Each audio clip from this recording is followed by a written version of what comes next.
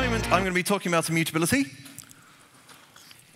But firstly, thank you to Martin for all of that, and thank you for uh, reiterating that a conference should be a safe space, a respectful place, a place where everyone can come. So I want you to look around at your fellow audience today and think about whether we are representing everyone and dream about what in five years' time the audience might look like and what your team might look like. And then plan for that in months, and on Monday when you get into the office, start shipping diversity. I'm talking about things that can't change, but this can change, and it's down to us to change it. Okay? Enough said.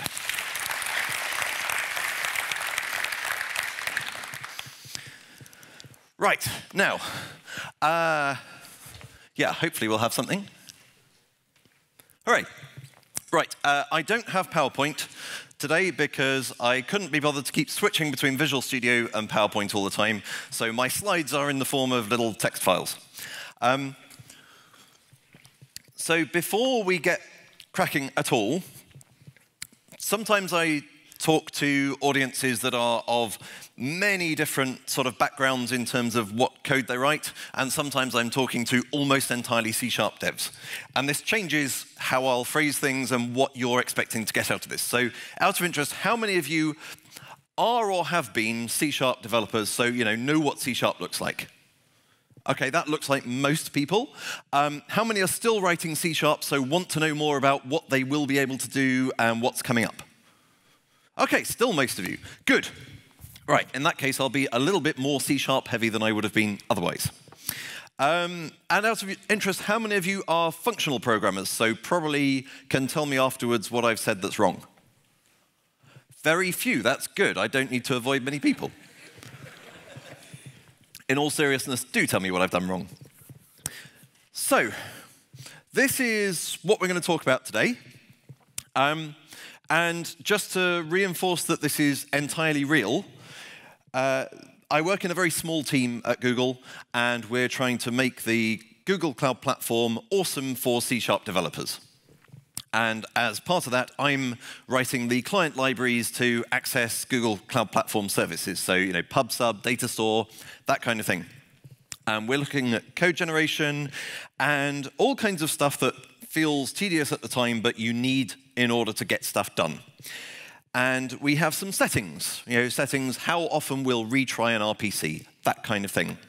And just this week, we've been going from, yeah, we made all of these mutable because it's basically easier to use them when they're mutable, to we really, really want to make these immutable because it's so much easier to reason about them afterwards. So this is something that I am facing on a daily basis.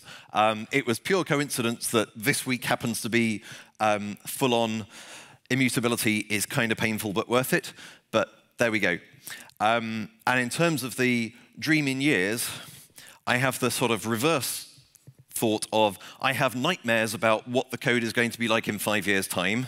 I panic about what the code's going to be like in a month's time, and I still need to ship it tomorrow.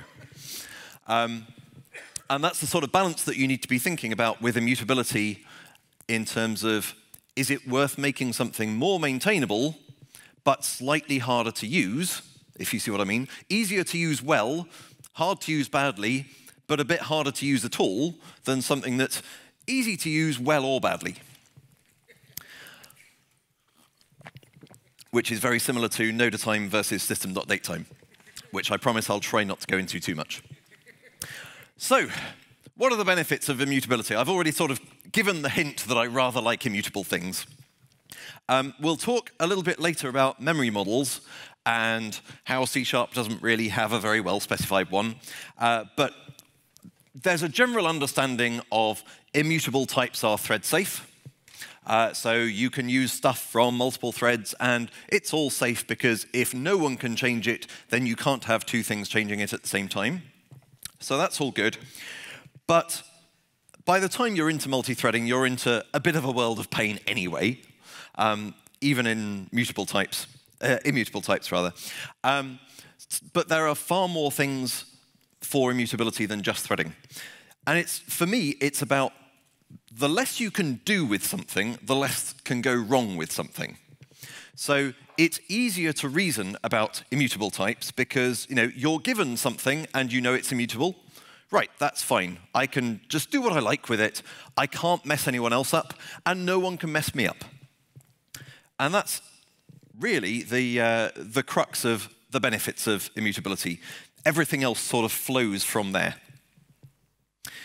But I did skip the second point about what immutability is to start with. I've kind of assumed, because you're a smart bunch of people, um, I've assumed you have some idea about immutability, stuff that can't change. But let's look, because it's not really uh, just an, an on off toggle. It isn't Boolean. Something isn't mutable or immutable. As uh, my friend Eric Lippert likes to say, what is this thing you call thread safe? Or what is this thing you call secure? Or in this case, what is this thing you call immutable? Um, there was a Stack Overflow question just a couple of days saying, how can I securely pass a string from one class to another in Java? It's like, what do you mean by securely? With, without any more detail, it's a meaningless term. So let's look, about, look at some kinds of points on the spectrum of immutability. So the first one is a definitely mutable type. So this is firmly at the mutable end of the spectrum. You can see that because you, know, you create one, you mutate it, you mutate it again. The next kind of mutability, and I'm not going to say that this is all that there is, um, but uh, this is just points I've got on the spectrum, is things that look immutable because we have read-only properties. Um, for those of you who aren't used to C Sharp 6, um, these are automatically implemented properties that are read-only, so you can only set them in a constructor. And so, you know, we've got read-only properties, so it's immutable, right? Well, not really. Um, yes, I can't change an instance of shallow immutable to refer to a different string builder, but I can still mutate the string builder. So the benefits of immutability in terms of knowing that no one else can change the state that I can see that's gone away. Yeah? I create my shallow immutable, and maybe the constructor can validate that uh, the string builder it's been passed is empty. And that validation is completely worthless because on the next line, I can append to the string builder. And I don't even need to still have a copy of it locally. I can just do it via the property as well. So this is clearly not properly immutable in any useful way. And in some ways, this is worse than the mutable case because at a glance, you can't tell that it's not immutable. So it's fine with string builder. Everyone knows that string builder is mutable, right? What if that were retry settings? I don't know whether a retry settings is immutable or not unless I go and look at retry settings. And maybe retry settings has a timing settings within it. And these are not sort of entirely made up types. These are the ones I've been dealing with this week. And it was only when I went down four levels that I found something that was mutable that I had assumed was immutable. And so, ah, you know, my whole tip of tree down four levels of mostly immutable stuff, or what I thought was immutable, gets messed up. Next, to borrow Eric Lippert's term again, is popsicle immutability. It's mutable until you freeze it.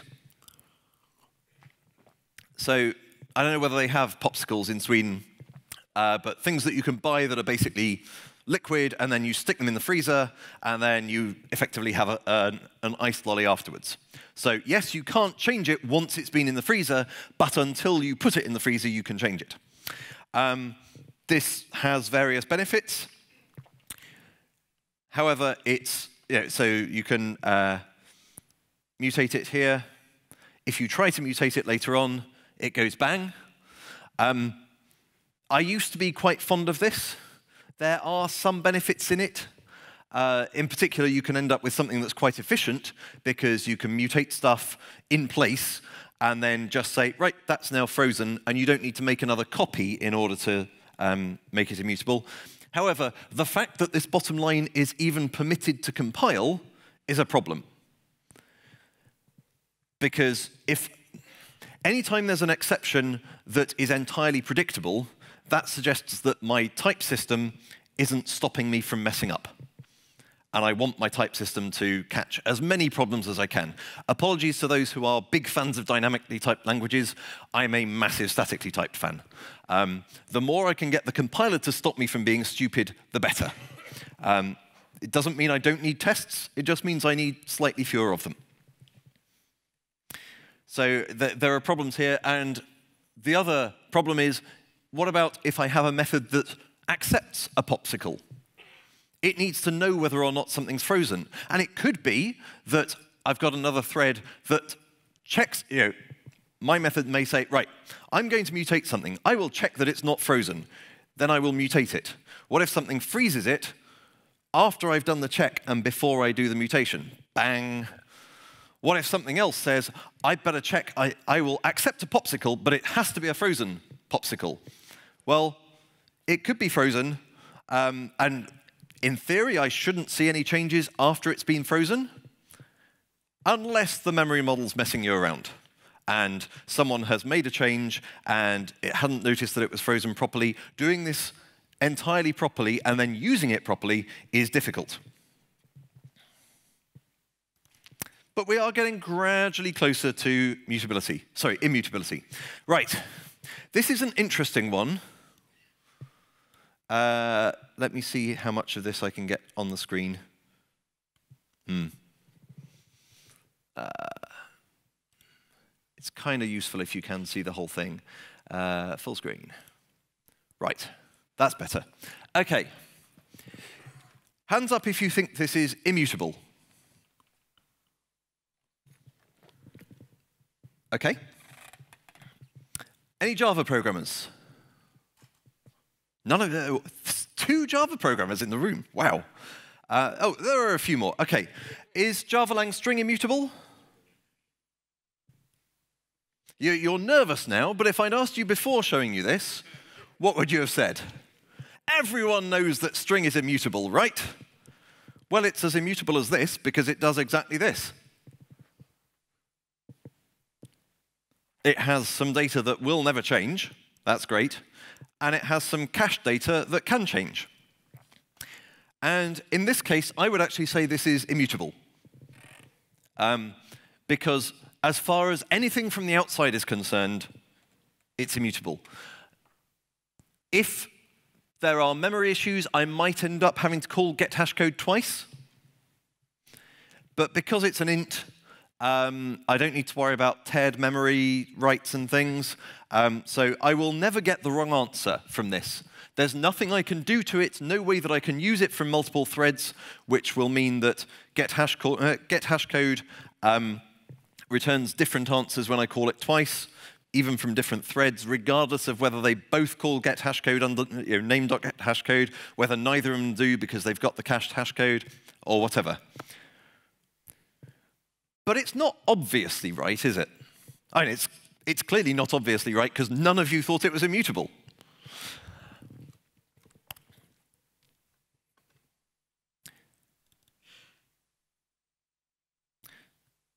Here's another example. If I hadn't put the uh, name of the class with unsealed semi-immutable, uh, if I'd asked, I suspect many of you would have said, that's an immutable class. And it sort of is. But it doesn't have the nice property of an immutable type that when I receive a value, if I have a, a constructor or a method with a parameter of type unsealed semi-immutable, if I keep a reference to that type, then uh, there's no guarantee that the value won't change. Sure, the, the value property itself won't change, but the object can change underneath, which means if there are equality operations, I may be messed up. You know, I, I can't cache this as the canonical example of an unsealed semi-immutable with value of 5, because it might be a derived mutable that has one particular other value and then gets changed later on. and we can see this. You know, we're, we're calling an example of unsealed immutable constructor, passing in naughty, um, and then mutating it afterwards. And maybe this is safe if, if, if example of unsealed immutable never uses any aspect of the derived class, but it's a little bit dodgy. Here's a modified version of that, which is one of those, it's safe, but you need to work to make sure that it's safe. And this is, this is generally a lovely pattern, by the way. Um, it's a pattern that I like to think of as like smart enums, or to put it another way, faking Java enums in C Sharp, because enums are the one thing that Java has a nicer model than C Sharp, in some ways. You know, C Sharp enums being basically named numbers definitely have their uses. They can be very nice. Um, they can confuse the heck out of people when people assume that any value of that type will be one of those five named values. And no, it could be any integer, really. Um, whereas here we have an example where you can't create an instance of unsealed private constructor, but you can get at three example instances. And as far as you're aware, they are examples of unsealed private constructor from the outside. Um, they're actually instances of two different derived classes. How can they be derived classes when there's only a private constructor?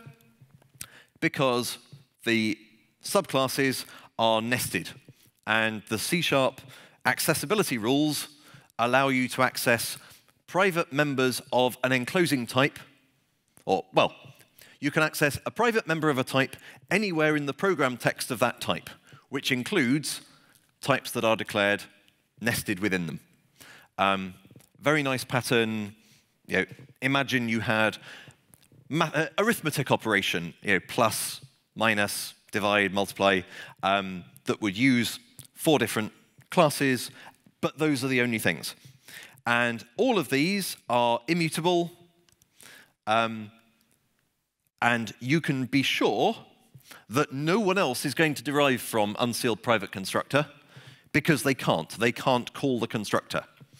Um, there's a kind of bug in C Sharp 5 where you can write a derived class which has two constructors that bounce between the two of them and never end up trying to call the private base class constructor.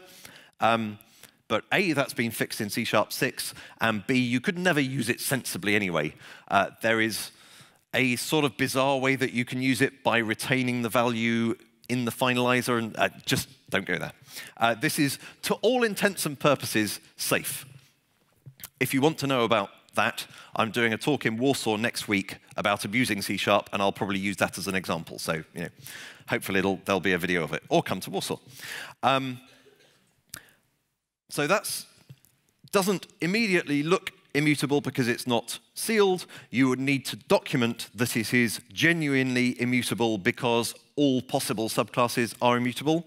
Um, but it's a, it's a nice pattern to know about. And finally, at the nice end of the spectrum, we have a class that only has immutable, uh, only has read-only properties, and every property is of an immutable type. Bingo. So that's one set of spectrum of things. Note that these are all classes. Classes are rather easier to read, uh, reason about than structs. Um, I'm not going to go into many details about uh, how structs work or don't work with immutability. Um, I may have one example, and if I haven't, I can whip it up in a minute. Um, but there's a spectrum. Anyone have any other suggestions for things that could be on that spectrum? Or if you don't want to shout it out, come and talk to me later on. These aren't the only possible things. But this is all about what you can do with types after you've constructed them. Let's have a look, as I skipped this slide earlier on. Oh, I think I've mentioned most of this. Um, it's, all, it's all about what you can rely on what you can know about within your code when you're using an immutable type. Um, and for the few Java programmers, you know, Java util date is one of the, in, in some ways, it's a gift that keeps on giving to speakers because it is one of the worst APIs I've ever seen. Um, Java util date and calendar. Um, never trust a language designer to design a date and time API because they like having as few concepts as possible. And that really doesn't work for date and time.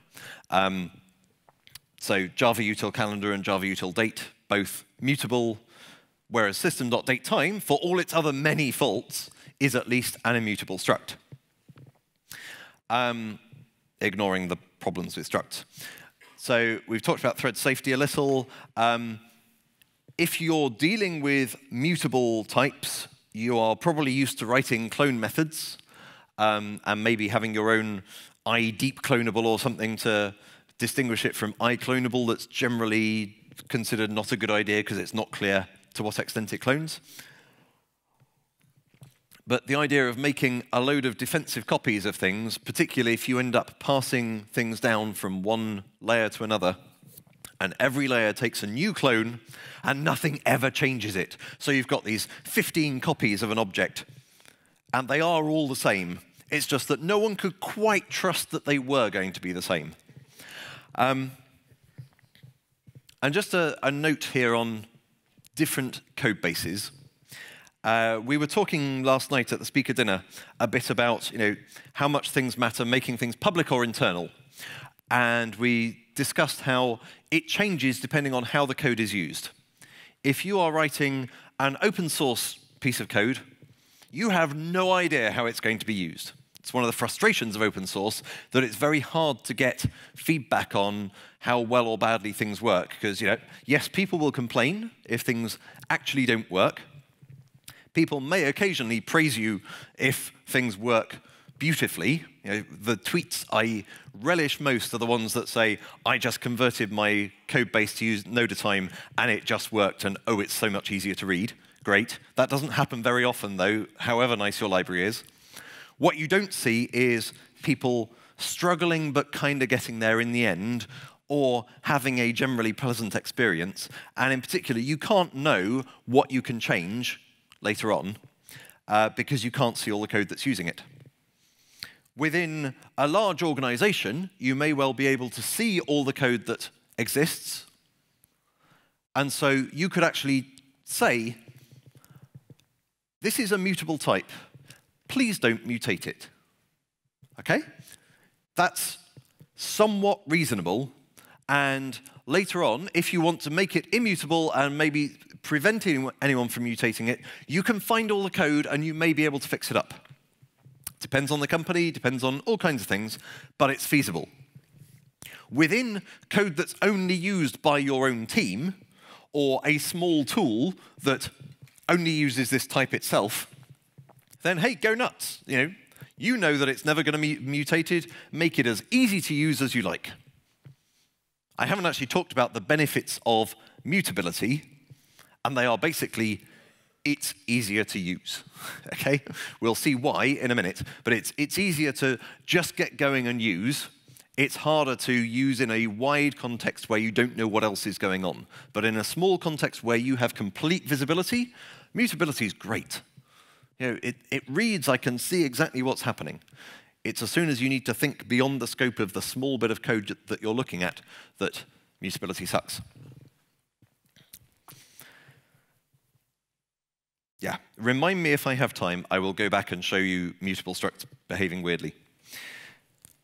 Let's have a little look at what C Sharp has provided in terms of immutability over the years.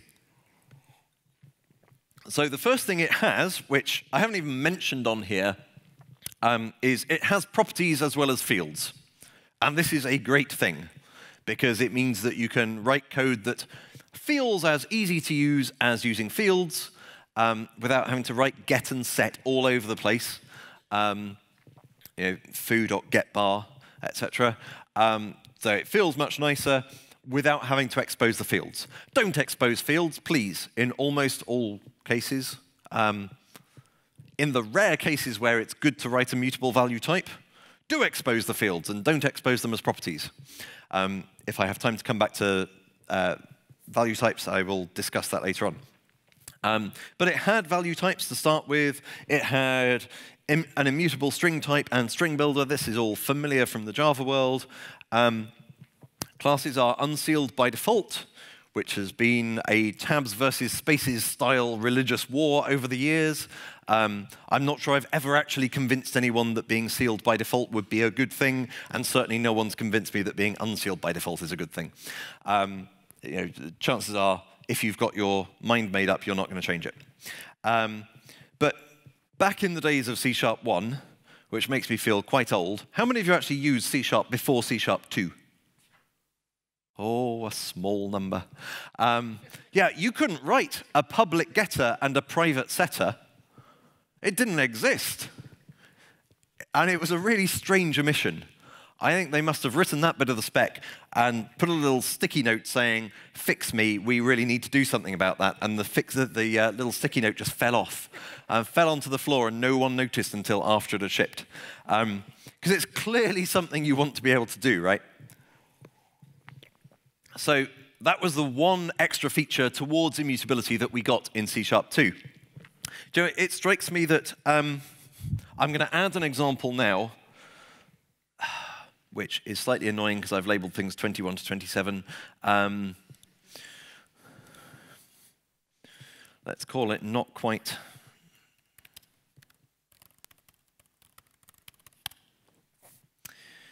And let's, we'll seal it. In fact, I, will rename it later on to lazy, lazily immutable. And I don't mean lazy as in like lazy of T, which is deferred execution. I mean the developer was too lazy to do it properly. Um,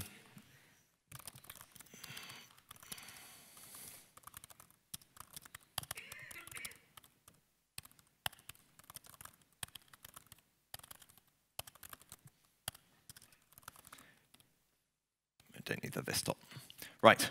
How many of you have written code like this? Yeah, me too. How many of you felt a little wary when you did it?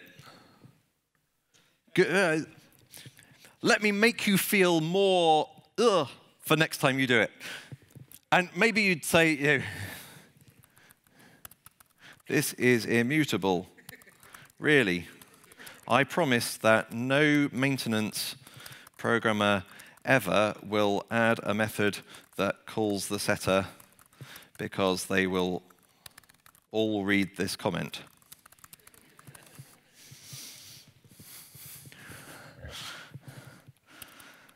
Public void fix bug value equals 20. I didn't bother reading the comment. This should be fine.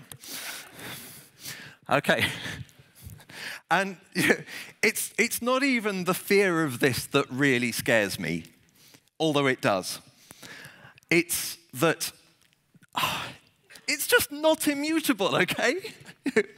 At the CLR level, this is not immutable. It knows that the field, you know, we've got a private int value field here, except it's got compiler junk to make the, uh, the field name unspeakable. Um, and you want this to be read-only. But because we're too lazy, we don't declare it and write a getter-only property to return it. We just kind of trust ourselves later on. Um, so you could do this in C Sharp 2. Um, sorry, no, in, in C Sharp 2, we didn't even have this. We had this in C Sharp 3, no, I'm wrong. It was in C Sharp 2. So yeah, sorry. C Sharp 2 allowed you to have different accessibility for getters and setters and also gave you um, automatically implemented properties. It just didn't allow you to have automatically implemented read-only properties. Um, I think, do you know, I'm going to have to check this later on. It's the kind of thing I should know, it feels. Um, and no one else will care. What's the difference between uh, C Sharp 2 and C Sharp 3? I don't care, it's 2016. Um, but I do. Um, right, in C Sharp 3, we sort of had a, a, mixture of good things and bad things. So we get anonymous types. And in C Sharp, anonymous types are always shallow immutable.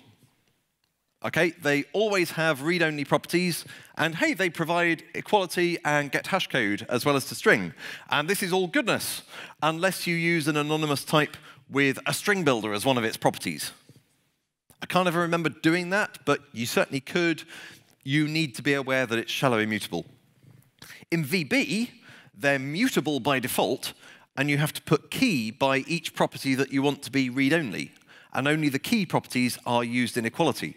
So if you're ever a C-sharp dev who has to fix a bug in some VB code, and you think, I'll use an anonymous type, please remember to use key everywhere if you want it to look like the C-sharp equivalent. So anonymous types kind of like immutability.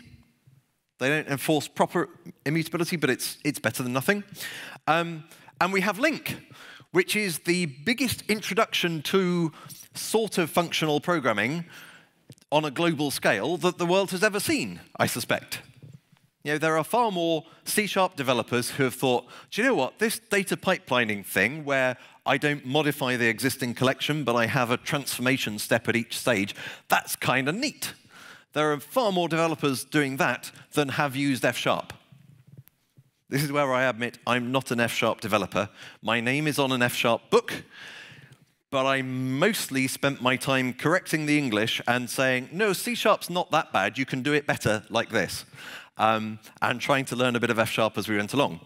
Uh, never put me in front of a screen and expect me to write F sharp. One day I may learn it, but I'm a big fan of the ideas, and that's what matters, surely. Um, so yeah, LINQ encouraged us to value some of the things that immutability encourages, doesn't enforce anything. You can write LINQ operations that mutate the collections they operate over. Please don't.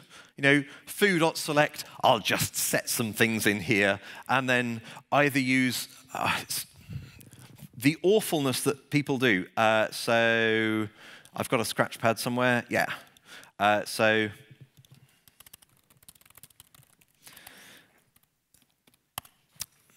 what's a nice mutable type? Uh, oh, we'll just use string builders. Um, And let's give ourselves two of them.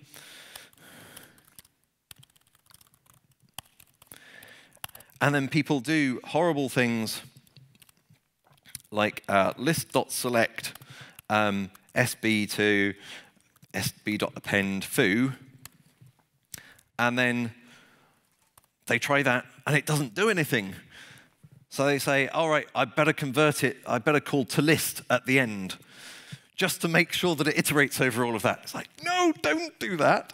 Um, or worse, they may say, ah, it's all right, I'll use count because that iterates over everything, except it won't if it's actually a list of string builder because that implements iList, so it'll just take the count property. Uh, yeah, just this side effecting bit, just say no. Okay, I'm conscious time is running away, as it always does. Um, so back to language evolution. So then we had uh, object and collection initializers, which I've just shown you um, a collection initializer. Um, and they would be lovely if they would work with immutable types, but they don't. So it's quite hard to initialize an immutable collection. Um, and I don't know whether things have been fixed. Have any of you used the uh, immutable collections sort of BCL add-on Okay? The fact that only a few of us have is sort of damning in itself, not necessarily of the quality of that code, but the fact that we haven't embraced it as a community yet. But last time I looked, which was several years ago, um, they had a builder, but it didn't have, I think it didn't implement IEnumerable, so you couldn't use it for collection initializers. It's like, the one thing that C Sharp has given to make this easier to use, and you've got a builder, so, so oh, we're missing the one thing that pulls them together. Um, in C Sharp's, no. I was going to say C Sharp 6 would let us fix that with extension methods, but I'm not sure that it could. Um, but anyway, we're encouraged to create objects and then mutate them with object initializers and collection initializers. Makes mutable programming easier whilst doing nothing for immutable programming. And we all know that if you make something easier, more people will do it. Okay, that's part of the problem. Um, you know, people will understandably go for the easiest option, even if it's not in long-term interests. So we end up with lots of mutable types. C Sharp 4 gave us optional parameters and named arguments. This is very useful uh, because it means that I can write a type that has a constructor with 15 different parameters, some of which are required and some of which are optional, and it's now easy to call it just with the bits that I want to specify. There are problems in terms of evolving that type, and again, we've been discussing this at work because we know that the, the class libraries that we hope to go to, you know, want that scary 1.0, and there's no number in the world that scares me at the moment more than 1.0. Um, if we've got a constructor, and suppose we make everything optional, that means if we now add another constructor where everything's optional and has one extra property, that's no longer backward compatible because overload resolution will fail because there's nothing to tie break between them. It sucks. Um, but it does make, if you're confident that you're not going to need to add something later on, um, it's really helpful. In C Sharp 5, we had Nothing. I, C Sharp 5 is a great new version, don't get me wrong. Async is awesome. Um, and the, the other tiny, tiny features are kind of cool too, but nothing for immutability. C Sharp 6, hooray, has read-only automatically implemented properties, as I showed you earlier on. Just put the getter there, and it generates a genuinely read-only field in the background. And you set it in the constructor, and that just calls the set um, it just sets the field directly. Uh, it has default values for automatically implemented properties, so you can, if you want to do a shallow immutable thing, you can do a public list of string friends get equals new list of string. And now you have something that's shallowly immutable and is already initialized. Yanus, you don't need to write a constructor and put the initialization in the constructor. On the other hand, it's still um, only shallowly immutable. Uh, and finally, the psychological feeling um, of expression-bodied members. Does everyone know what expression-bodied members are? The things that look like Lambda expressions, but they're really not Lambda expressions. So where you write a property uh, with equals greater than, um, or a method. And in C Sharp 7, we're getting expression-bodied everything. You can do constructors and finalizers and static initializers and all kinds of stuff. Um, and basically, that gives you the feeling of being an F-sharp programmer without having to learn F-sharp. It's great. Um, it's like, this is almost like Haskell. Um, and I'm only slightly joking. It does give you the feeling, you know, if, if you've got a method that is only a, computes a single expression, there is something that's nicely functional about that. Um, and I think it's good to encourage without bending your code out of shape. Um, but the, the psychological um, feeling I got at least. Maybe I'm alone in this, but it, it's lovely. Um, right. I have 20 minutes. Okay, let's give you some examples of different ways that we can implement immutability. So we'll assume by now that you've decided, for whatever reason, that in your code base, you have a reasonably complex type, and you want to make it immutable.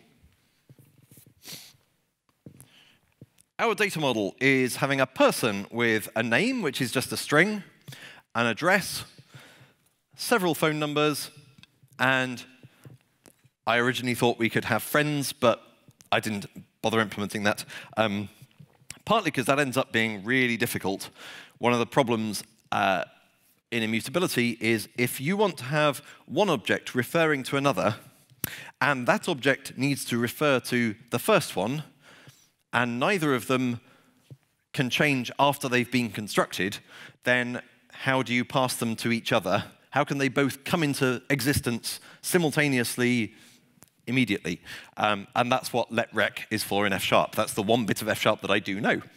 Um, but it makes it all kind of tricky, and it means that while you're doing something recursively, you know, you pass this in your constructor to another constructor, which is already sort of, this is crazy style because it's letting this escape during a constructor, which means something is observing you while you're still not fully clothed, as it were. Um, it's letting someone into the changing room, and uh, if they happen to do something nasty at the same time, that's not good. If they observe stuff, they can see you changing. Um, so you should only do it with code that you trust to not observe the state that's not going to change after you've finished. Okay, so uh, we've got some examples of how we can do that. Let's look to start with at the builder pattern. So all of this is on uh, GitHub, by the way, under jskeet slash demo code, uh, that repository, and find your way to immutability. Uh, so we have what looks like a nice uh, immutable type.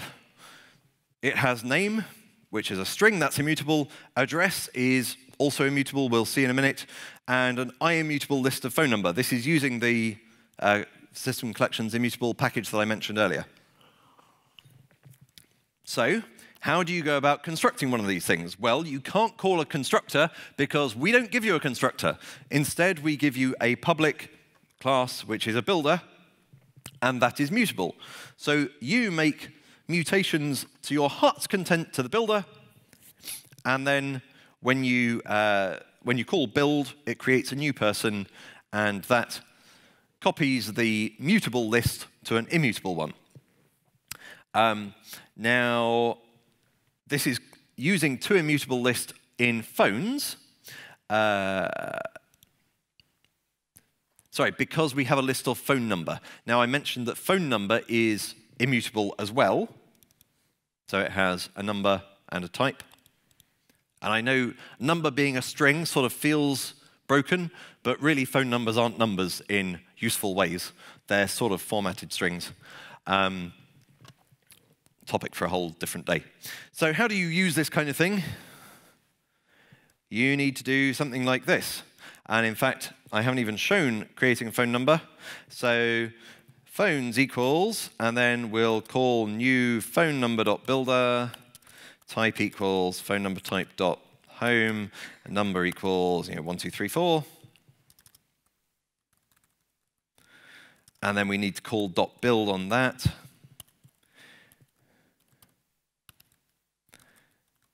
And let's have a mobile number I'm very careful not to give away my private information. 1, 2, 3, 4, and 5, 6, 7, 8 are not my actual phone numbers. Um, but wouldn't it be cool if they were? It'd be really easy to remember. Um, so, what's to dislike about this? Everything. this is not how you want initialization to look, right? Um, Suppose I wanted a new version of me, as it were, that had an extra phone number. Well, I'd need to create a new builder and copy everything and copy the phones to a new mutable list and add a new one of those, and oh, it's also painful. And you can make these slightly better by allowing, uh, by having a to builder method that creates a new builder that's a copy of things. Um, but it's all just a bit painful. I don't want to see all of the builder stuff in my code. It's cruft that we can do without, or we'd like to be able to do without. Let's have another look at a second builder pattern um, where this uses our lazily immutable um, idea and popsicle immutability and this time it's not lazy because I couldn't be bothered to do something, it's lazy because it's designed to work this way. So we still have the same basic um, interface in terms of having a builder, and you've got to call setters on the builder instead, and then you call build. But this one's more efficient than the previous one because when you're building something, you are literally building up the immutable, the going to be immutable object. It's just that nothing can see it yet, so it doesn't matter that it's mutable. so long as the memory model works out. Um, so we have this uh, a freezable list, and we expose the list of phone numbers as an I read-only list, and it genuinely, by the time you get to see it, it will be read-only. And if you try to cast it to iList, then hey, maybe that'll work, and you could call add, and it will throw an exception, which is fine. That's as good as throwing, uh, throwing an exception when you cast it to a list of t. Um, so this is slightly more efficient, but if we look at the program, yeah, it kind of looks the same as it did before.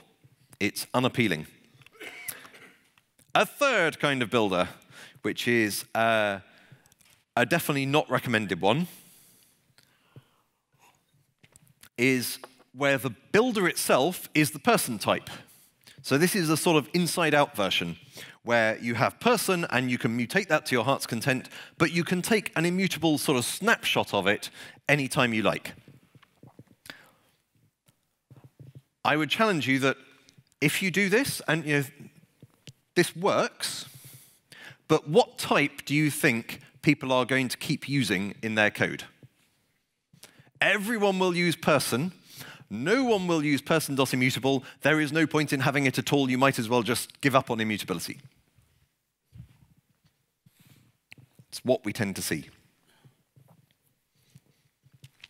Okay, another pattern that's uh, a non-builder pattern now is withers. Withers are just lots of methods starting with with.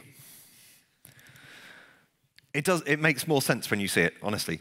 So this time we have a person type, a uh, constructor, a public constructor. You can pass in the name, you can pass in the phone number, you can pass in the immutable list of phone numbers. Sorry, the name, address, and immutable list of phone numbers.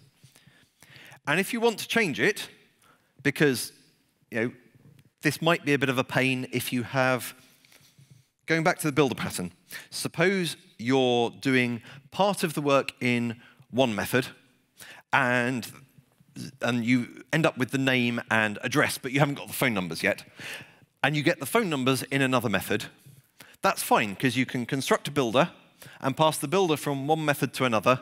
So populate the name and address, populate the phone numbers, call build, you're done. The fact that we've got just a constructor here means you've got to do it all in one go. So what do you do if you don't have the phone numbers yet? Well, with this pattern, you pass in the name and the address. You don't pass in phone numbers, so null if that's valid, or ideally an empty immutable list, and maybe if you pass in null, it converts it into an empty immutable list. Great. But then you call with phones on it. And importantly, it's called with phones because if I write code, good, I have an example here. So you know, here I create person, and this time I don't know the address yet. And then later I just call john.withAddress. This code looks correct. Yeah? It, it reads OK. What doesn't read OK is john.withAddress, new address. I'll just copy. Sorry. I would claim that is obviously wrong, just by reading it. And just to contrast,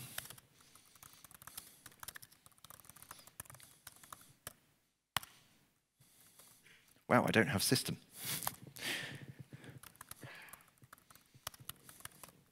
That is not obviously wrong. Not if you don't know about date time being immutable. Add is an imperative thing that sounds like it's doing something to an object. So it looks fine. You know, if I use list.add, that's fine, so why shouldn't this be fine? This should have been called plus. That's obviously wrong.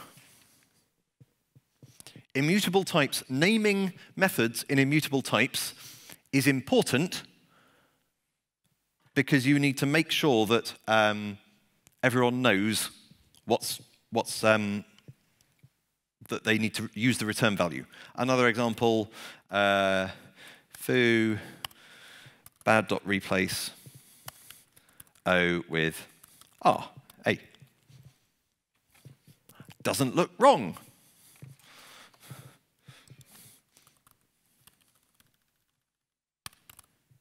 Looks wrong. Looks right. Um, and after replacing is a name I have just come up with because I probably wasn't going to talk about the naming part. This tends to happen in my talks. Um, but think about this sort of thing when you're, if you end up converting a mutable type to an immutable type, make sure that all the method names, anything that sounds like it's doing a mutation, is changed to something that sounds like it's returning a mutated version, as it were.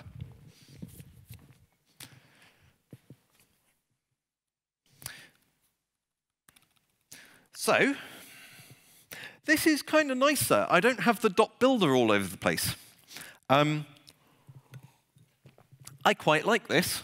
And in fact, this sort of thing is the way that we're probably going to end up doing the settings class that I was talking about before. Um, there is one downside, which is if I need to call five different withers, so suppose I had lots more properties than name, address, phones. Suppose I had age, gender, um, you know, preference in trousers, whatever it is. Um, awesome in this case. Um, I would end up creating a new object every time.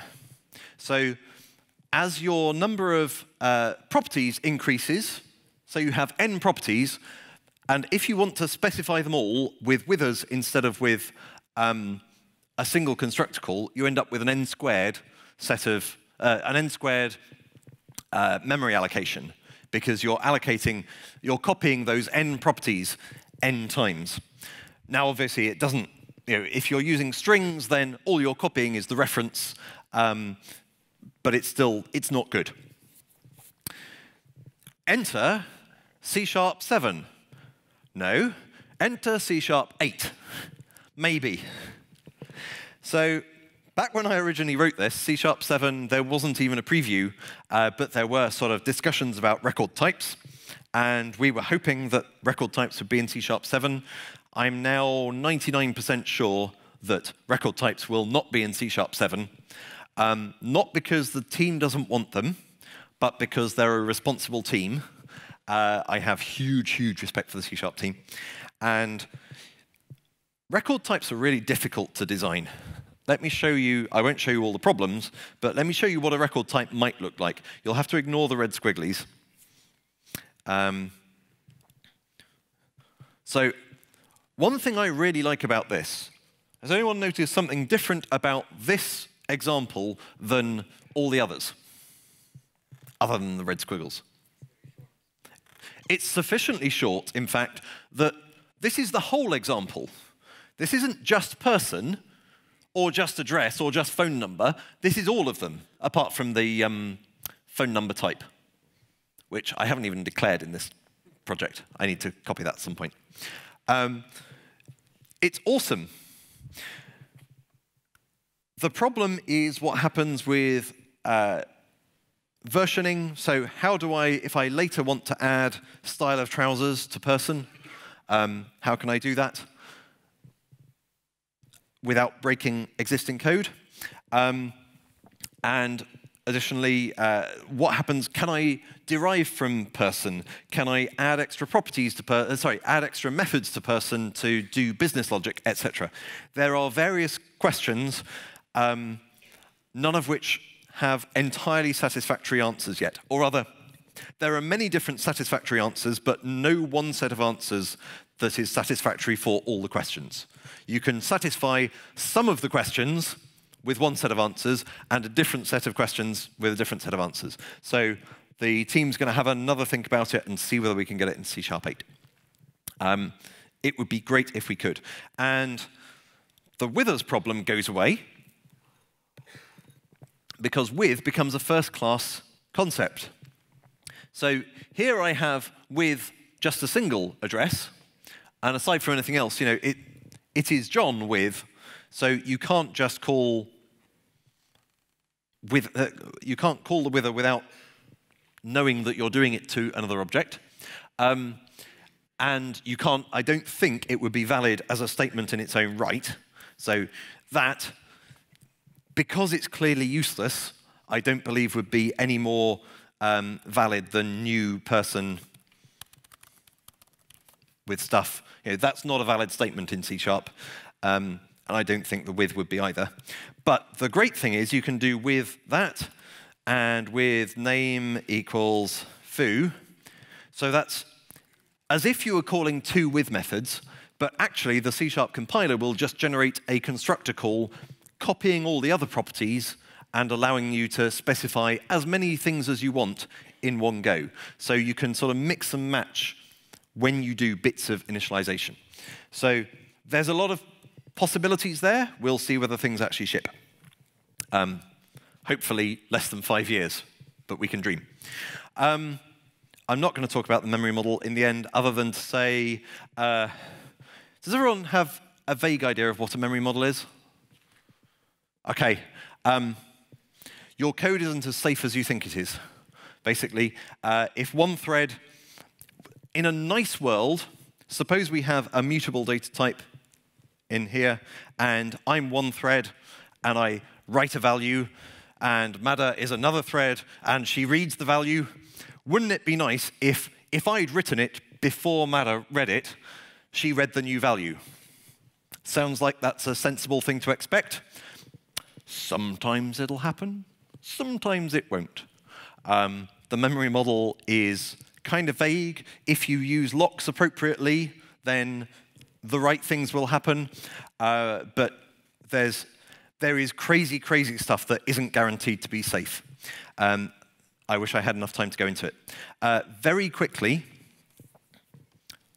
some thoughts about why this is a problem to start with.